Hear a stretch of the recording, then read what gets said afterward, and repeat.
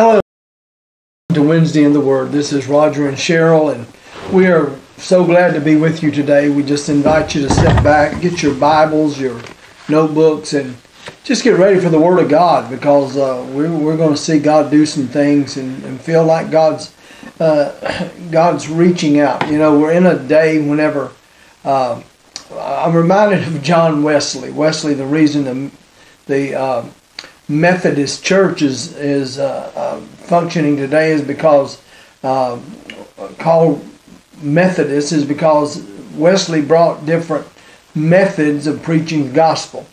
And you know, while my uh, my favorite uh, way of preaching is always face to face with you, and our favorite way of teaching is face to face, where you can be interactive and ask questions. You can still do that if you want to comment on the uh, uh, on the comment section and all. We'll we'll try to get back with you with an answer.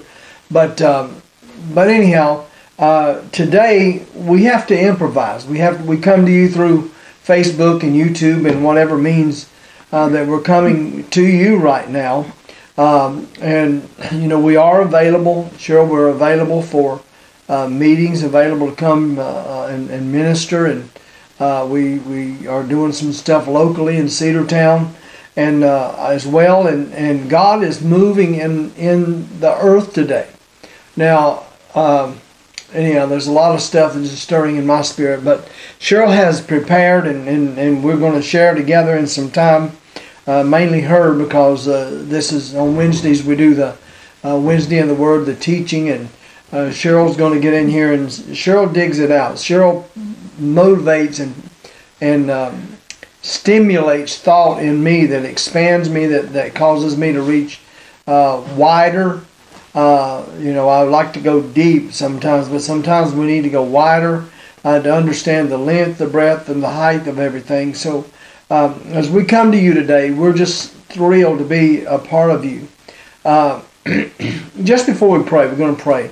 This little song's been going over in my spirit, and uh, I want you to worship with us. You know, let's invite right now. I want you to invite Holy Spirit to come where you are, and I want you to invite Holy Spirit to be there.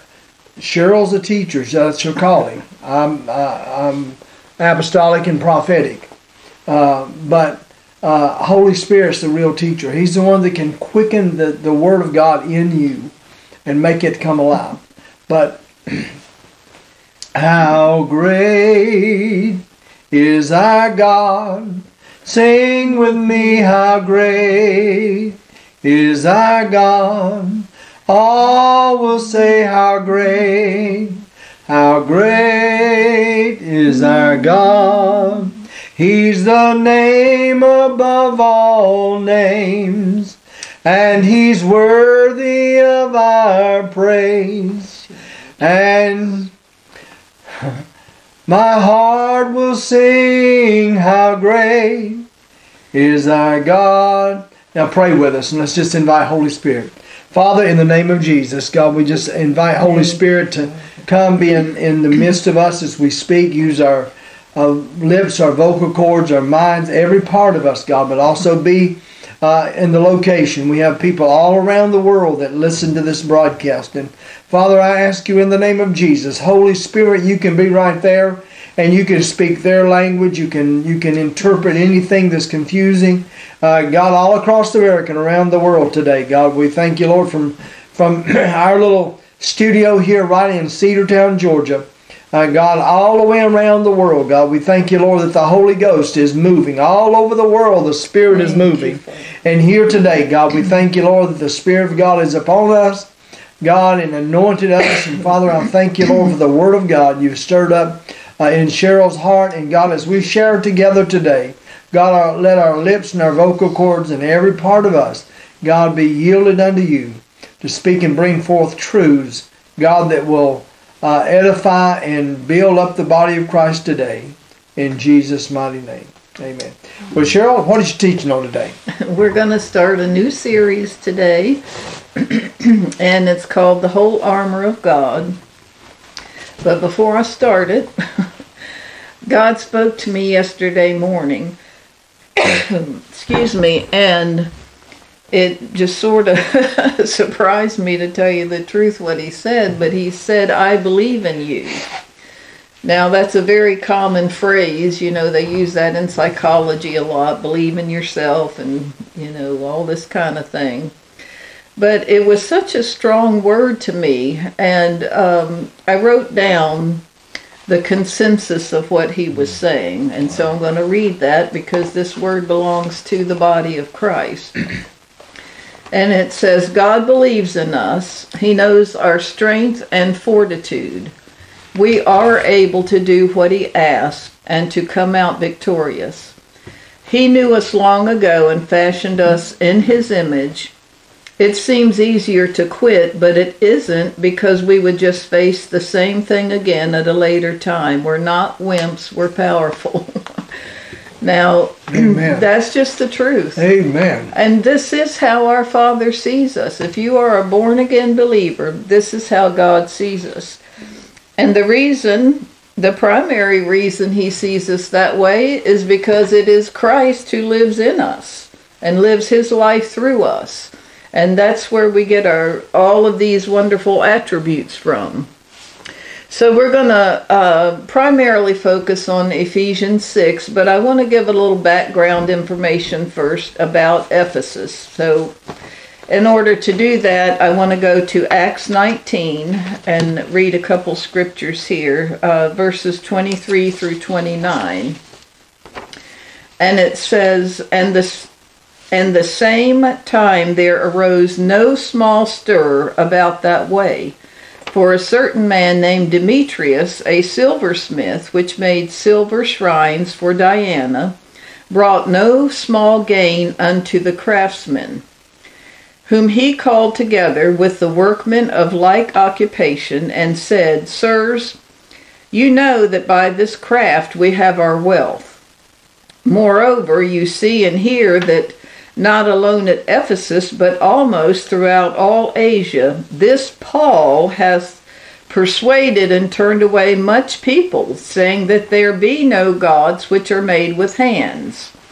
So that not only our craft is in danger to be set at naught, but also that the temple of the great goddess Diana should be despised and her magnificence should be destroyed, whom all Asia and the world worshipeth.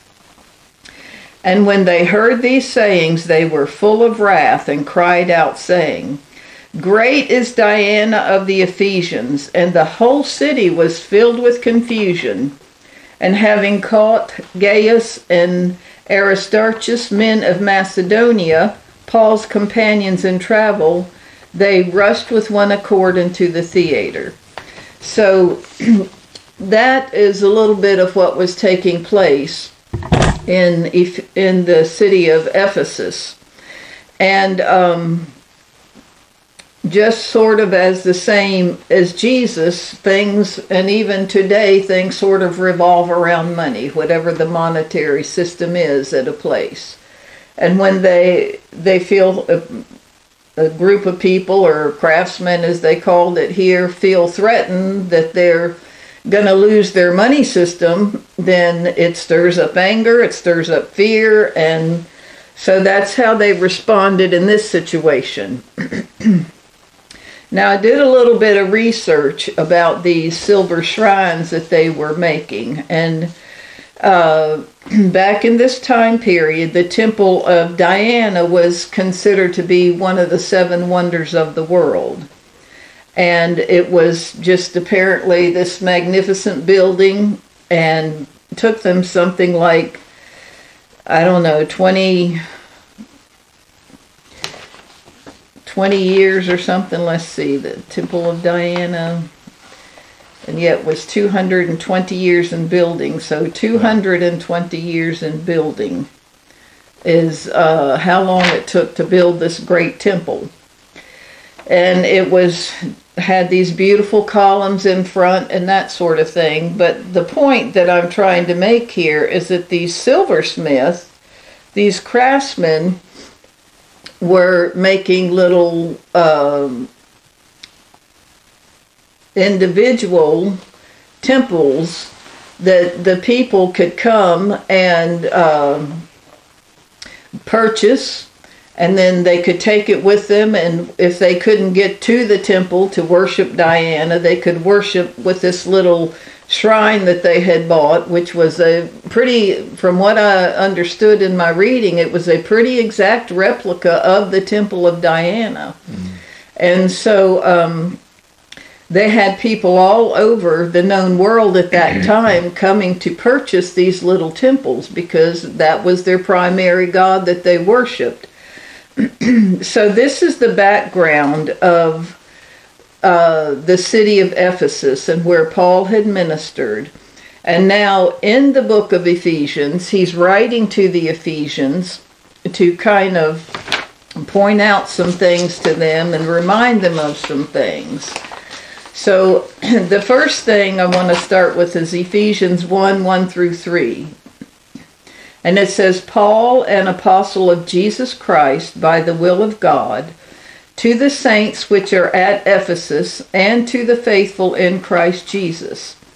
Grace be to you and peace from God our Father and from the Lord Jesus Christ.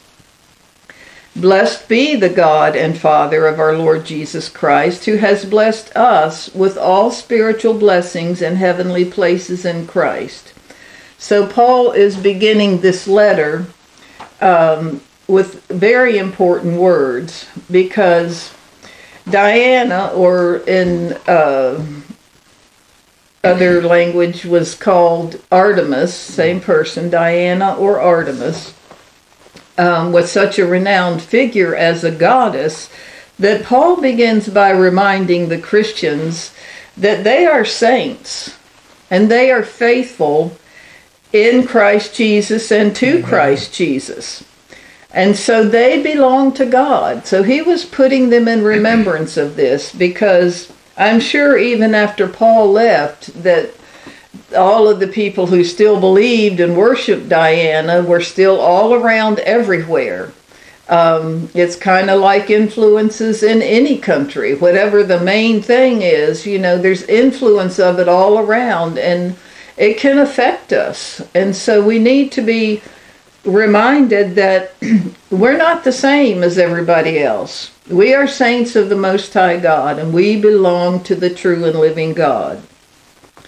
So, uh, the people who worship Diana, this is what they believed about her. They believed that she brought them the promise of fertility, long life, sexual fulfillment, and protection during pregnancy and childbirth.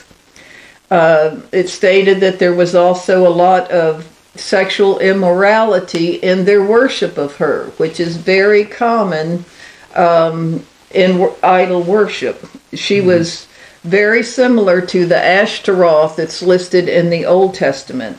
and they compared pretty much along the same lines. So Paul reminded the Christians at Ephesus that they're blessed, but it wasn't by Diana. It was uh, through Jesus Christ and through their being born again. So he goes on then to tell them that they were dead Amen. and they formerly walked according to the prince of the power of the air, living according to the lust, but now they're no longer dead, but they're made alive in Christ Jesus. And then Paul goes on in chapters 1 and 3 to introduce them to two prayers, which are wonderful prayers to pray over yourself, over your children, over the body of Christ. It would be worth your while to look into them if you're not familiar with them. But Paul continues on then in the book of Ephesians and he gives a lot of instructions and we're not going to cover all that because our topic is the whole armor of God. So I want to kind of move on, but I will just say that the chapters up to and the very beginning of chapter 6 are instructions to the church over a lot of different things. So when we get through and we get down to chapter 6, then Paul uh, begins his ending of this marvelous book that we call Ephesians. And he does this by showing us how we protect ourselves and what our responsibility is. So I want to read now um, Ephesians 6 10 through 24. Do you have anything to say? No. All right. And this is the basis of what we're going to talk about over the next couple of weeks. And it says, Finally, my brethren, be strong in the Lord and in the power of his might.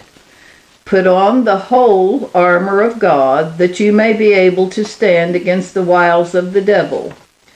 For we wrestle not against flesh and blood, but against principalities, against powers, against the rulers of the darkness of this world, against spiritual wickedness in high places. Wherefore, take unto you the whole armor of God, that you may be able to withstand in the evil day, and having done all to stand, Stand therefore, having your loins girt about with truth, and having on the breastplate of righteousness and your feet shod with the preparation of the gospel of peace. Above all, taking the shield of faith, wherewith you shall be able to quench all the fiery darts of the wicked, and take the helmet of salvation and the sword of the Spirit, which is the word of God. Praying always with all prayer and supplication in the Spirit, and watching thereunto with all perseverance and supplication for all saints, and for me. In other words, and pray for me also. And here's what Paul wanted them to pray that utterance may be given unto me, that I may open my mouth boldly to make known the mystery of the gospel, for which I am an ambassador in bonds, that therein I may speak boldly as I ought to speak but that you may also know my affairs and how I do, Tychicus, a beloved brother and faithful minister in the Lord, shall make known to you all things. And he goes on and speaks a little more, and then he says, Peace be to the brethren, and love with faith from God the Father and the Lord Jesus Christ. Be grace be with all them that love our Lord Jesus Christ in sincerity. Amen. Now, Paul, as if you're a student of the Bible, you might remember he had so many difficulties and trials and persecutions because he had been sent by Jesus Christ to be the primary um, person to bring the good news of the gospel of Jesus Christ to the Gentiles. And the Jewish, he went first to talk to the Jews in the synagogues throughout a lot of Asia and all that area. But the Jews became so angry because he was preaching salvation through Jesus Christ and that you really didn't have to do all the works of the law which had been laid down under Moses. And this was very offensive to the Jews. So they followed him really from city to city, stirring up trouble on his behalf. And so Paul had learned some things that he was getting ready to tell the uh, new saints. Now, these are Gentiles that have come out of all this heathen worship. So he was giving them instructions and telling them how they could stand and not be afraid. So the first uh, thing we want to look at is in verse 10, and I'm I am going to take some time to break down some of these words, and here's why I'm going to do that. If you're a Christian and you've read the Bible all your life, sometimes we become so familiar with what it says, it kind of loses some things. Now, that doesn't happen on purpose, that's just the way things are. We live life, we have other things, but uh, I find that sometimes also in the English language, um, it's not as expressive as the Greek and Hebrew. So sometimes digging a little bit deeper helps us to really understand what's being said more clearly. So, verse 10 says, Finally, my brethren, be strong in the Lord and in the power of his might. All right, so the finally here is like him saying, All right, now I've given you all these instructions. So since you have all these instructions, I want you to be strong in the Lord and in the power of his might. So, this word strong here that he uses is in strengthened. I love that because it's something that's inside of us. Of course, we know as Christians it is the strength of God, of the Christ of God within us. So, uh, in, the next word, in, be strong in the Lord. That word in means a fixed position in pl- place, time, or state. The word power means force, strength, might, dominion, inherent power. Inherent means that it's already existent in someone or something. In this case, it's existing in us. Um, might means might, strength, power, inherent, and in action as used of God. So, what I did is I sort of paraphrased this verse so that we could pull all these words together and it would make sense. All right, so here's the way that I put it together. Finally, after all the previous instructions, be strengthened from your fixed position in the Lord Jesus Christ, and in his force, his dominion, his mightiness, and his strength that resides in you.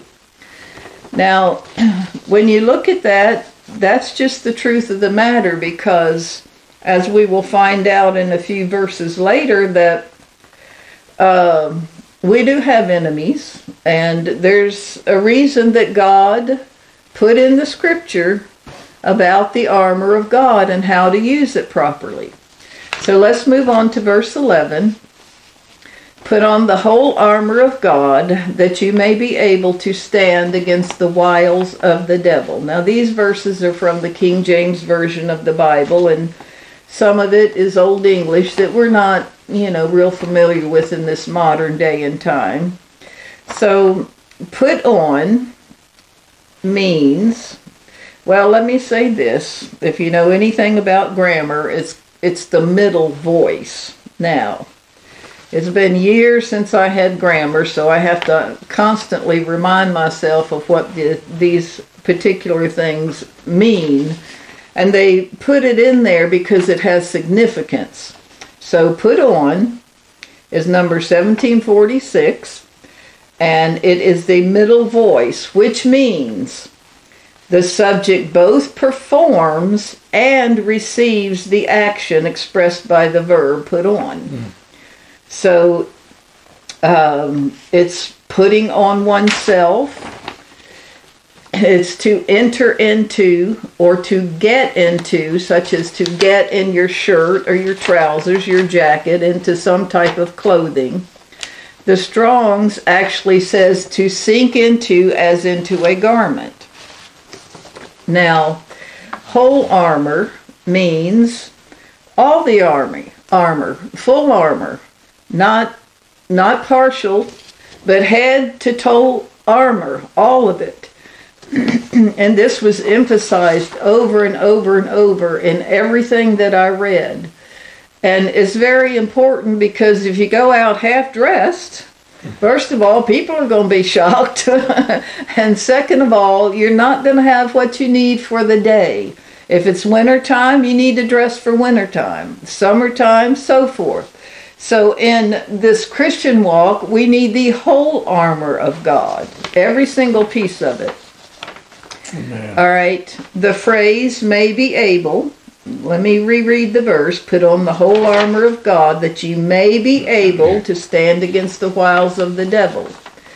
Um, the phrase may be able means to be able. It also means to have power, whether by your own ability or by the resources or through a state of mind or through favorable circumstances. Now, that's very important because as we go through this, we'll learn how much the state of mind plays a part in all of this and why we need this armor. Um, To stand means of steadfastness, firmly fixed in place, unmovable. And then against is a very, very interesting word. It means close to, very close to. It means forward or toward. The wiles of the devil means deceit, trickery, cunning, cunning arts, craftiness, to follow up by investigate to follow up, excuse me, or investigate by method and a settled plan. The word devil means traducer, which means to expose to shame or blame by means of falsehood and misrepresentation, a slanderer. Now, we're running out of time here, so I'm going to read you how I put this verse together using these words.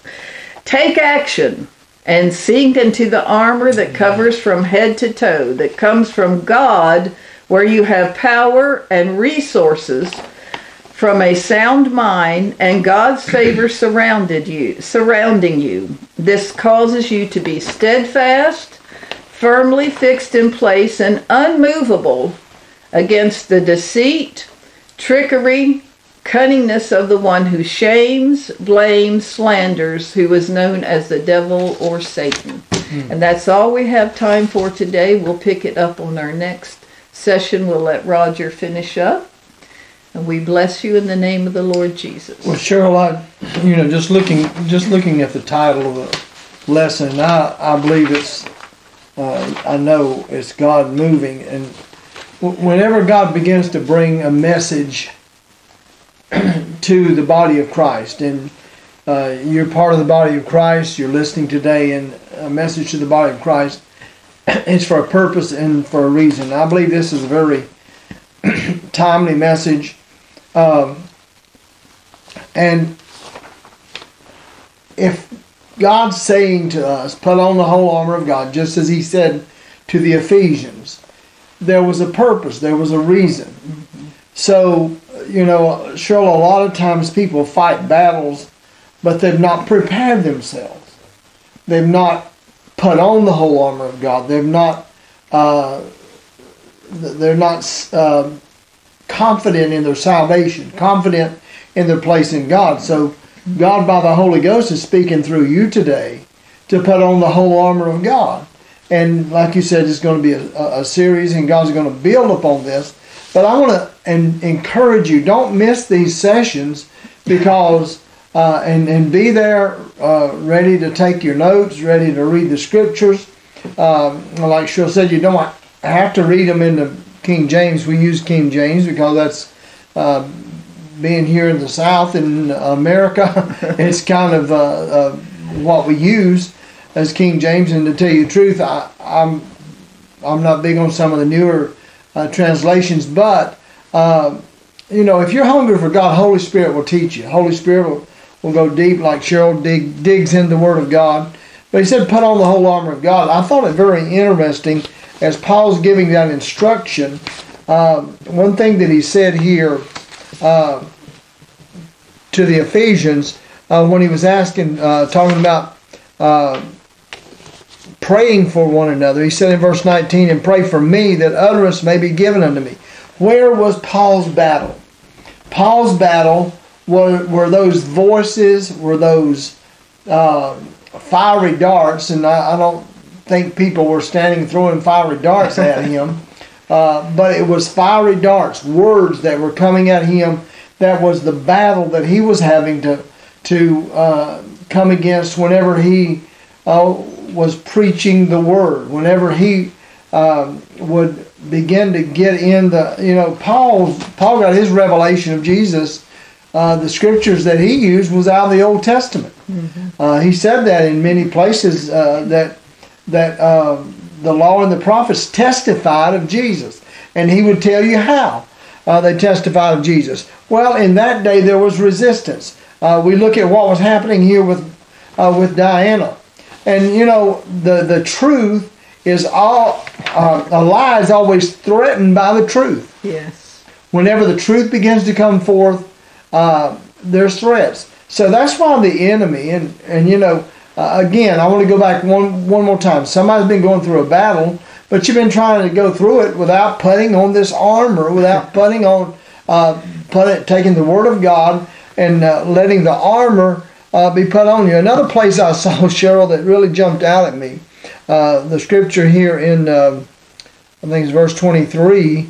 it says, "Peace to you, brother, and love with faith." Mm-hmm. I, I thought that combination uh, you know, some of you have a battle loving. Well, you have to love with faith. You have to decide this is what I do. I'm, I'm our time's up and we got to go. But, but be part of these uh, lessons every week and do some homework. Get in to read the scriptures and prepare yourself. Father, in the name of Jesus, as we go off today, we ask you, Lord, that you will just minister grace and mercy, Father. We thank you, Lord, that the whole armor of God, clothe us with that whole armor of God that Cheryl's teaching about, the Holy Ghost is prompting in our spirits. And God, let your life stand up in us. God, with, the, with all the protections of the Word of God. We give you praise. We give you thanks for it. In Jesus' name. Amen. Well, God bless you. We appreciate you uh, tuning in today. Next week, uh, 12.30 on Wednesdays is when we come, 12.30 Eastern Time. And it may be different around the world, or you may be watching it on uh, video after the fact. But God bless you for tuning in. And the anointing of God is there. Put on that whole armor of God.